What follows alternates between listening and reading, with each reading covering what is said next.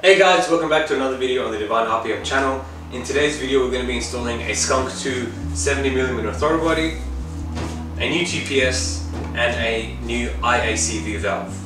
Let's get to it.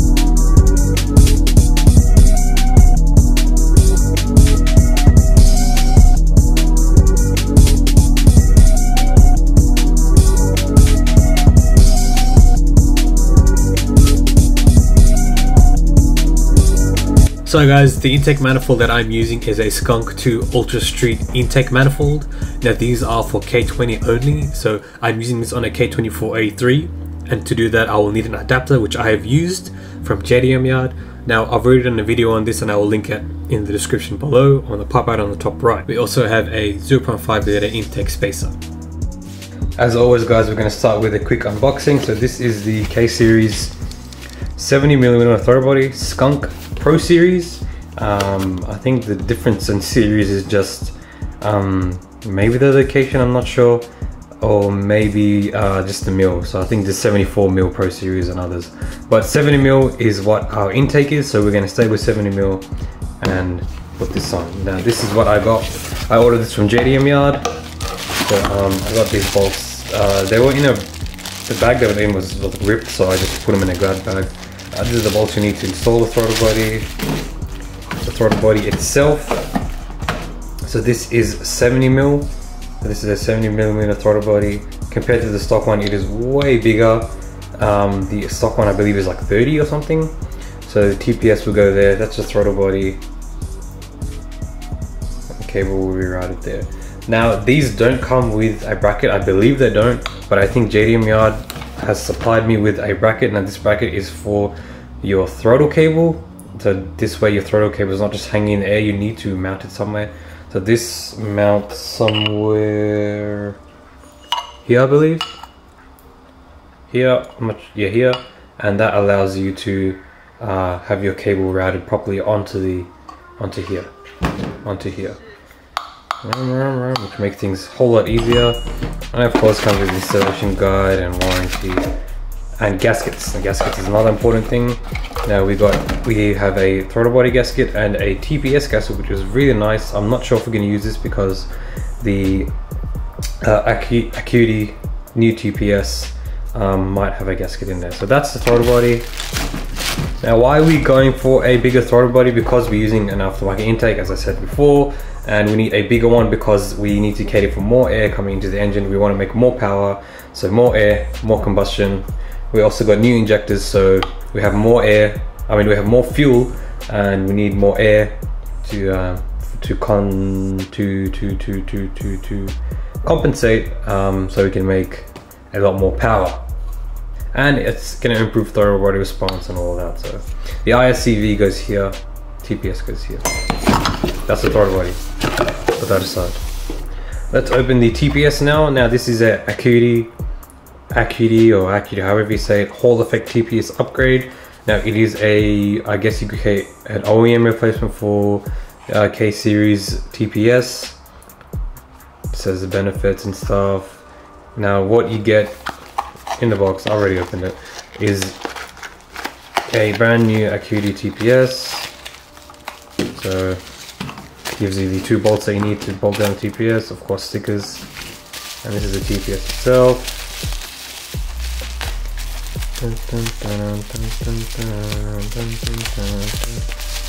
Yeah, it is very cool. That's the TPS there, so it's a nice purple one. Cutie TPS. It's got the grooves there. Now this groove will go into here. To here, as you can see, when you when you're opening and closing the throttle body, that is where the sensor identifies the position, I guess. So with that directly connected up properly and with uh, grooves with nice grooves here um, it'll be way better than an OEM. So the OEM one is very similar to this. Um, the reason why we're not going OEM is because the OEM TPS is garbage. And when you're going into an aftermarket application with the throttle body intake and making a lot more power, um, the OEM TPS is just gonna fail. 99% of the time it's gonna fail. Um, it might not fail straight away, but it definitely will fail and you have to replace it. These definitely won't fail because they are an upgraded one and they're a Hall effect, which I'll get into a bit later. But the reason that we're going um, this upgraded one is because the OEM one is garbage and we need a upgraded one which is going to cater for the rest of the car. So that's that. I will talk a bit more about this later. Now we have, now I've got a calibration harness for the TPS, it was 60 bucks. I don't know if I'm gonna use it at this point in time. So basically this little harness goes in between your TPS wiring and your engine harness. And this allows you to directly um, calibrate the TPS through your ECU. Um, because we're going Haltech Nexus, the Nexus will be doing the calibration. So we probably, I'm not sure if we're going to be need this or use this because uh, Acuity says to just plug this in, calibrate it, and then take it out. So we'll see if we actually need this or not to uh, keep a constant connection between the TPS and the Haltech Nexus. So we got that just in case. Now last is the IACV. It's a K21, uh, K20A1 actually I believe, so it's, it's from JDM Yard, it's an upgraded one. Um, I'll go to the car and show you the stock throttle body and stock IACV, factory I mean. So we've got a gasket here, that's the IACV valve. Does not come with screws. So we will have to go to the car and grab the screws from grab the screws from the other one. So I believe it's just these two screws because these, yeah, these are already here. Just these two screws, which we'll grab from the other car. Very nice to see, brand new, nice gasket. Will fit directly onto there. Cool. Okay, now let's do a bit of talking. Alright, so I'm going to talk a bit more about TPS and the technology and how it works and stuff. So the OEM TPS is garbage, I said before. When using the OEM TPS on a forward body, you will always usually end up failing, either it fails at the start or definitely in its lifetime it will fail and you will need to replace that. Now this won't fail because it's an upgraded one. So first of all, why do we need ATPS?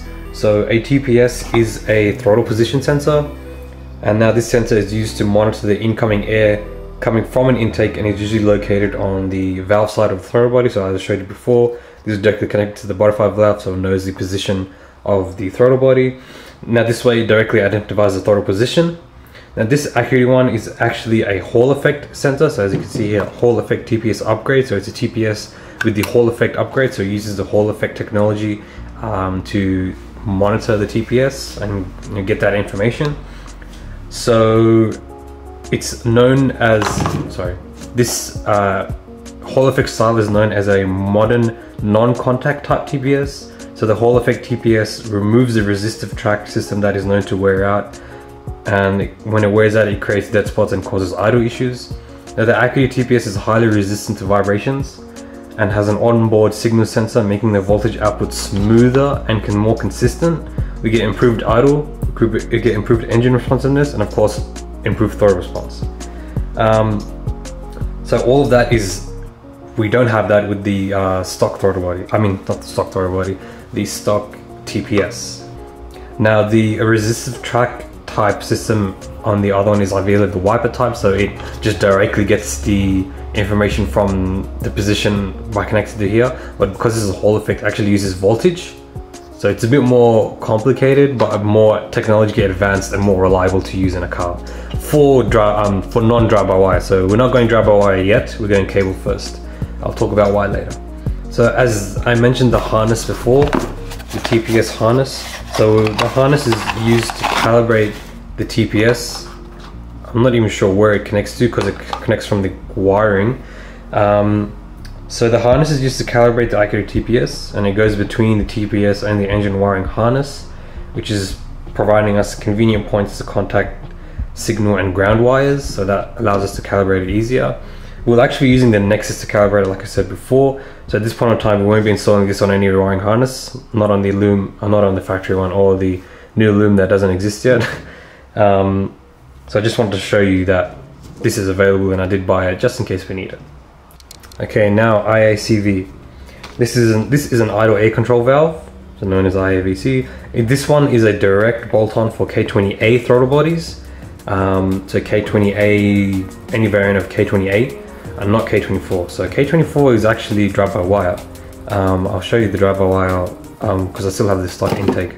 um, manifold. But yeah, so the K24 that I have is drive-by-wire, and all the K20s I believe are cable. Um, so that's why the IICV valves are only on K20s, and these are only for K20As. Now we have a K24, but we're using a K20 intake manifold and a K20 throttle body, so this will actually work perfect for us and will fit um, very well, perfectly on the throttle body, and a throttle body will perfectly fit on the intake. Now an idle air control valve is a component that controls the air, controls how the engine would idle when RPM is rising and falling. So it's supposed to keep the speed, uh, steady speed to avoid stalling and allows the car to move once you let off your foot off the clutch or brake.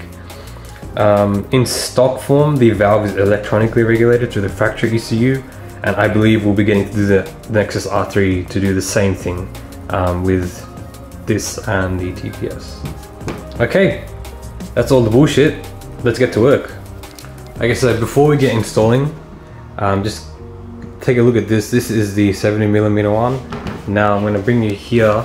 This is the K24 drive-by-wire. So this if you have this, I believe this means drive-by-wire because there's no uh, string or cable. Um, this this directly connects and it's drive-by-wire. It's a very small throttle body, as you can see. It's probably about 30 mil. If this camera wants to go that way, but yeah, it's probably about 30 mil, and it's very small. That's the stock K24 intake manifold, um, RBB, I believe. Yeah, RBB intake with the RBB throttle body, which is very small, drive-by-wire. Drive-by-wire is very interesting technology, but we will not be going to drive-by-wire yet because I would like to do a comparison later. Now let's just go to the car.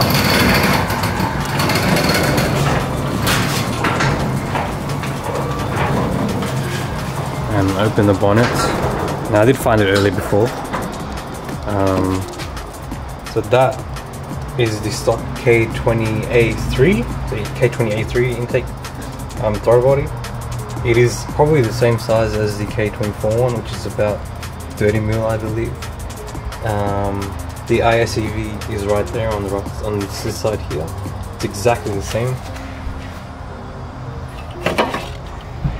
It's exactly the same as the one I bought from JDM Yard. Um, and we just need these two screws, one and two, which I will take out later. But other than that, that's the IICV valve. And we won't be using this at all. We'll be taking this cable off and putting it on the K24. Alright, so the first thing I want to do is install the TPS. So this is the TPS here, and this is the new throttle body, and that is going to go right there. Now what we do is, I don't think there was a gasket in this. Let's see if there was.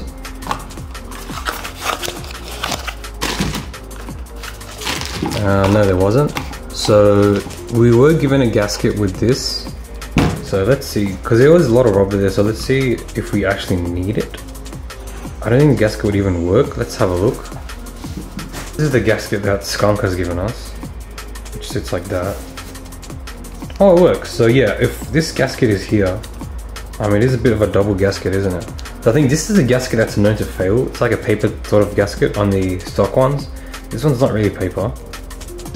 But, you know, if they haven't given us a TPS and this has the rubbers on it, I think it should be fine, right? Because I've seen people install this just like this. Alright, ah, so it's got that. I can feel the rubber doing its job. But if I double up right and put this mm, put this on top. Um, yeah, I don't know. I'm not gonna use I'm gonna not put the gasket on yet because uh, if I don't think we need it, to be honest. I think people install this without the gasket, so we're just gonna go straight on and line up the bolts and put these in. Now I'm installing this on here first because I want to install it on the throttle body first. Everything, then we're going to go to the engine and install it on the engine. Um, just like we did for the intake manifold. Install everything on the manifold first, then install the manifold on, otherwise it's going to be really hard to do it um, on the engine. So put it in and line up the holes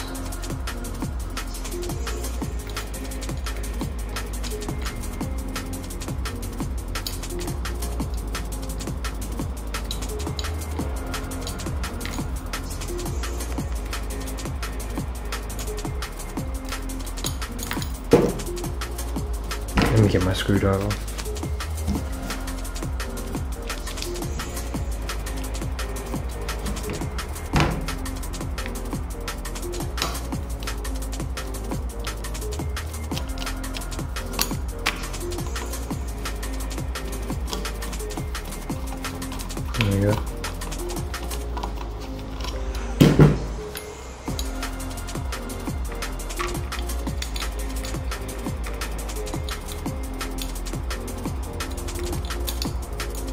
Now I've seen this installed on the K-Tuned throttle body. I believe it's almost exactly the same thing.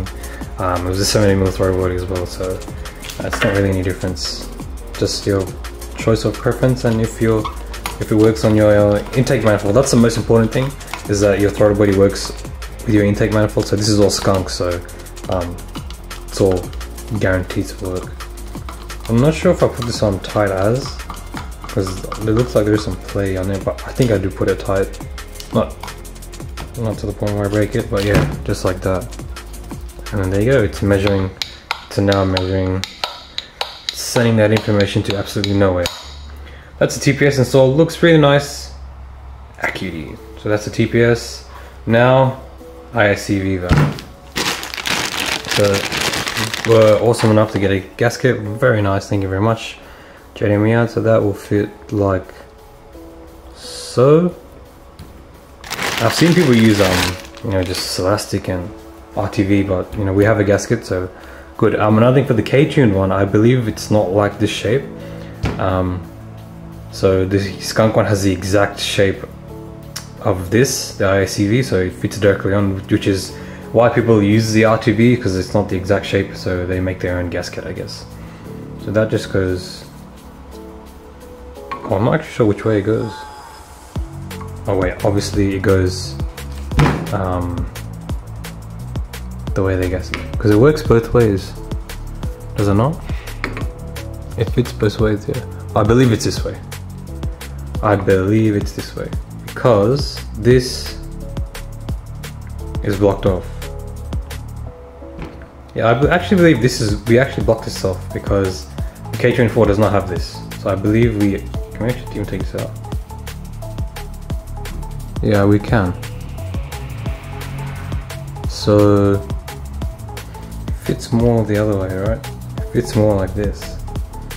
Yeah, so that's how it goes. So the yeah, the top one is this, is this curved on, because the gasket sits like that. Sorry, like this. The bottom two are the ones that are same. So these two are the same. See, that's slightly to the left. See, these two are in line. So the two that are on line obviously go on the bottom. So these two go on the bottom and that goes on the top. Set. So um, I couldn't get the TPS, I mean the bolts off. I actually broke them, um, but I managed to get these off from the throttle body. They look, they all look the same. Just the length was different. So I'm gonna try these two first, but I will later change them to the right ones. But be careful when taking bolts off your old old ICV. Yeah, this one doesn't even fit. So I'm gonna have to just send one of them only and get another one of these. But uh, yeah, be careful with that because um, I sprayed WD-40 and then I waited a bit, then I went to take it off. As soon as I put it on, the uh, screw just broke. So those two in the ISCV are broken. Let's just pop this back on. And I use this, I use this and it broke, so there we go. So I'm just gonna tighten this a little bit. And um, I'll just search up and find the other one and just pop it in when it's ready to go. But make sure it's still lined up on the other side and then tighten it. Otherwise it will tighten it in the wrong position. Yep, okay. IACV is on. That hole is lined up for us to use any screw that we find, I guess. Okay, now that's pretty much the throttle body ready to go onto the intake manifold. We've got the TPS, the IACV. Now I believe we, I believe that we're going to be blocking this off anyway, but we'll see how we go. And um, one more thing, of course, is the bracket for the throttle body cable. Is the bracket, and we were given screws for it, so let's use the screws. Two tiny screws. I think.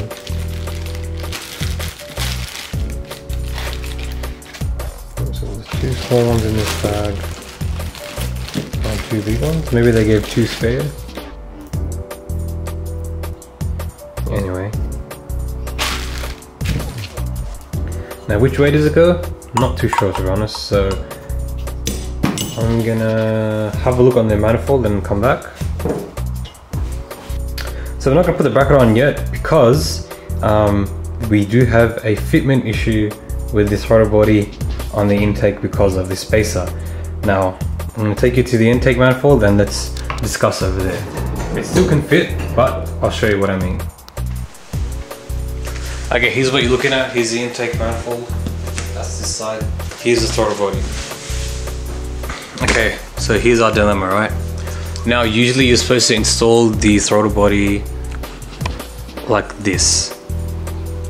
Um, so when we put it on, it lines up and everything, but this is actually hitting the manifold now. So we can't actually open and close the throttle body because it's hitting and the cable can't even, there's no space for the cable there.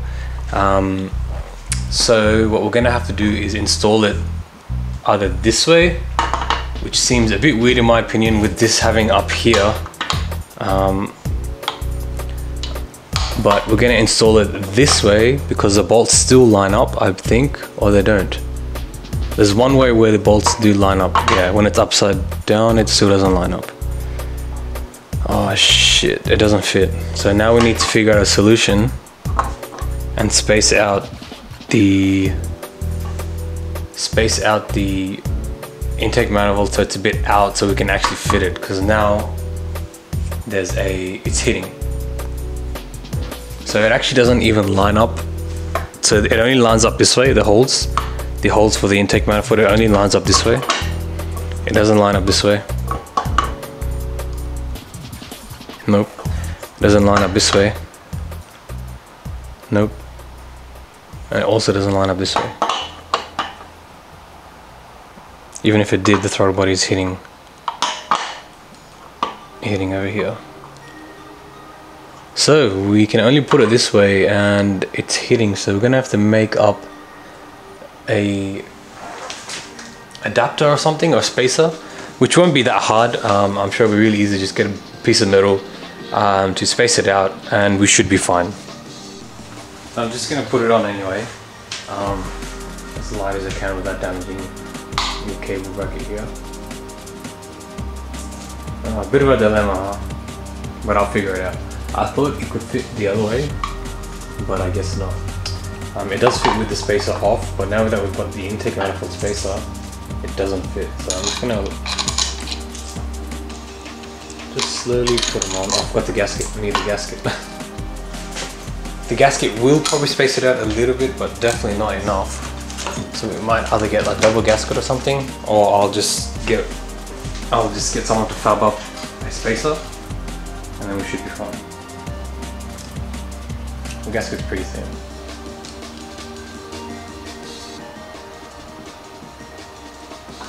Wait, why is this gasket wrong? Whoops. Wrong way. There you go, now the gasket lines up.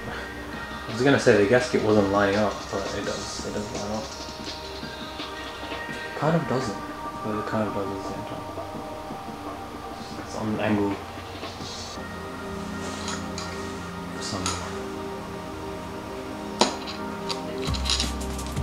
How about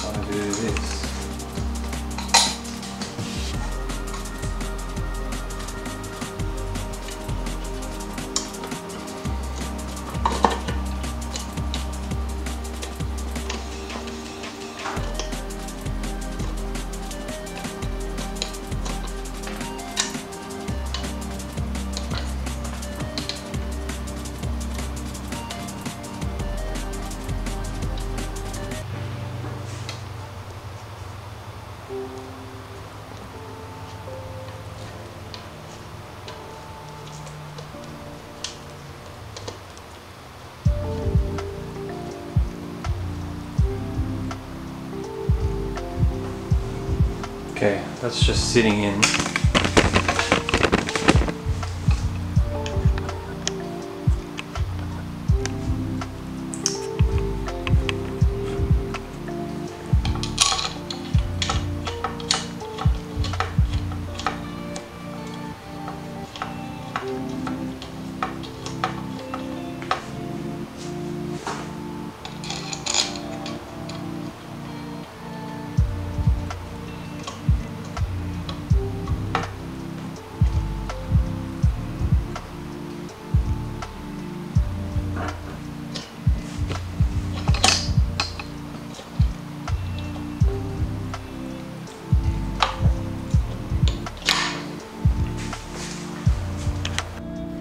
So I'll show you guys what's going on, right?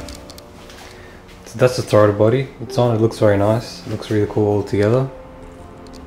But um, yeah, so this cable bracket thing here is actually hitting this spacer. Now, it's not hitting right now because I don't have it bolted on, but if I squeeze it on, right, it doesn't actually go on because it's hitting. And you know, even if it wasn't hitting, um, if it was just a bit off, when you put the cable on and try and open the throttle body, it just it's gonna touch, right? See, it's, it's like just touching it, which is very bad because um, it's gonna damage both the intake manifold and the throttle body, which is it's gonna put more pressure on trying to open it. So we will need. I'll probably get a spacer made. If I can't find one, then I'll get one made, just a metal a metal plate that's gonna space it out just a little bit, and just like that, so we can have the throttle body like that. Let loose, open, and yeah, because this is the only way the skunk throttle body will fit on the skunk manifold. So that's how it should go. Yeah, camera reception. But anyway, um, yeah, so that's how it should be. And we will need to get a spacer here, which I'm sure there's someone made it. I'll find it or I'll just get Reese from Highline Industries to fab up a quick metal plate which will fit perfectly and there, boom, the car should be fine. But for now, I'll probably leave it just loose like that and um, till I find a plate, you know, that's that's how it's gonna be. So that's this Skunk 2 70 mil throttle body. So now you know that you will need a spacer um, and it doesn't fit. So I will have to update everything on that and update you guys on that uh, on the intake manifold video that a Skunk 70 mil throttle body will probably not fit with a spacer. So that's it for this guy, this video guys. Um, just to reiterate, this is the Skunk 2 throttle body. It has a Acuity TPS, a K20A IICV, um, and it fits, kind of. You need a blanking plate. Thank you guys for watching this video guys. Thank you so much for watching this video. See ya.